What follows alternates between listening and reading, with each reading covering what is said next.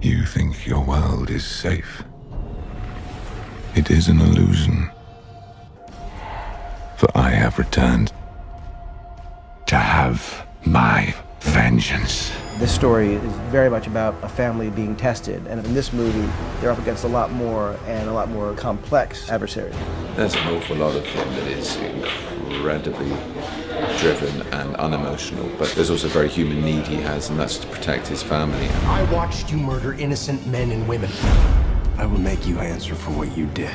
In this film, you're really questioning what do I do in this situation? Where does your loyalty lie? Who do you trust? And the thing about Ben Cumberbatch is he's such an unbelievably compelling and powerful actor. I am better At what?